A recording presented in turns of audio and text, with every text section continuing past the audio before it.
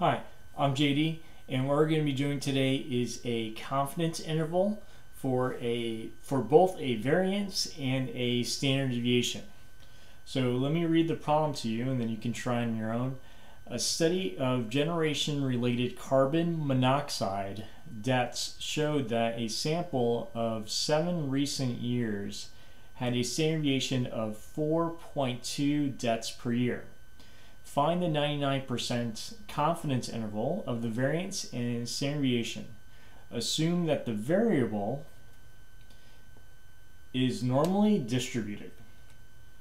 So pause the video and try to do this one on your own.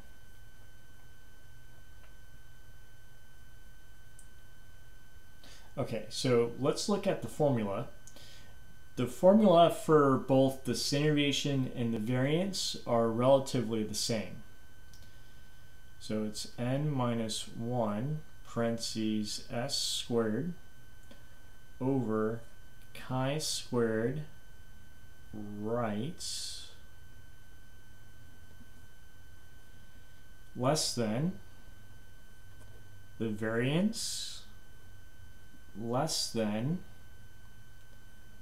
n minus 1 s squared over chi squared left. So let's first find the chi squared right and then chi squared left. So how do you find that? Well, the chi squared looks like this. And since doing a confidence interval, you have 99% in between. So you have to find this value and then this value. This is chi squared right, and then this is chi squared left because it's named after the sign that's on in the chi-squared distribution. However, when you look at your table in the back, normally you have this is the area that you need and then you have that stuff. So let's first find this area. This area is going to look just like the table this is this area plus this area equals 1%. Half of 1% would be 0 0.005. So look that up in your table. The degrees of freedom would be n minus 1. So your sample size is 7. So it would be 7 minus 1, which is 6 and then look at top, which is 0 0.005. Well, 0 0.05 and 6, I get 18.548. Might be a little hard to see on the table, but on top you have the area to the right of it, and then on the side you have your degrees of freedom. So where 7 and 0 0.005 line up, that's my chi-squared right.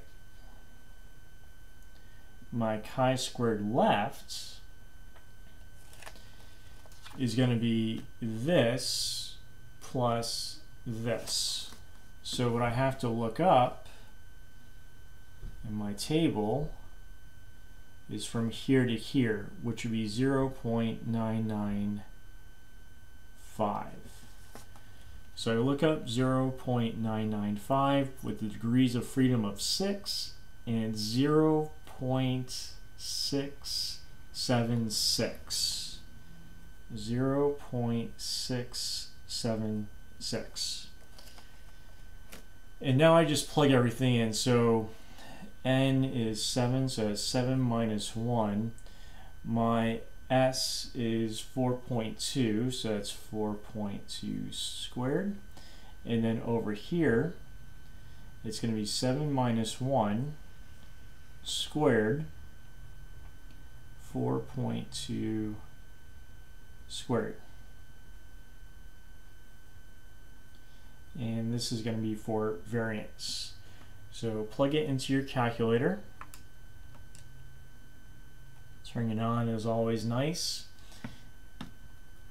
Always good to turn on first before you start doing your calculation. So 7 minus 1 parentheses and then 4.2 squared and then first it's divided by this 18.548 so I'm going to do uh, one more decimal place than what they give me here so it's 5.71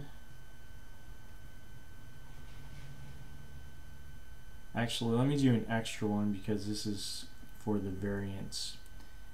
Uh, 0.6. And then I have the other one. Now all you need to do is delete what I pushed was second and then entry, and that just repeats the last line. And then for my denominator, it's 0 0.676, which gives me 156 points five, six, eight. So that's my confidence interval for my variance for my standard deviation, all I have to do is square root everything. So it would be the square root of 5.706 and then the square root of 156.568. And so let me plug those into my calculator. So square roots of 5.706.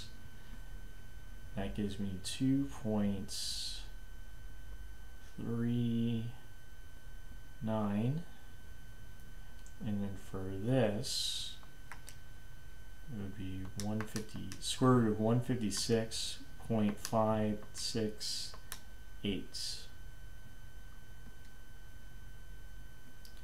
Which gives me 12 points five, one.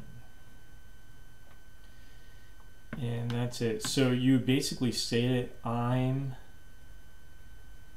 99% confidence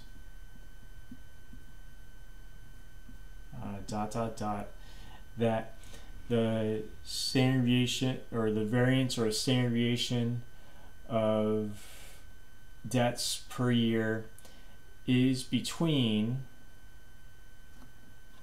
such and such and such and such or such and such and such and such.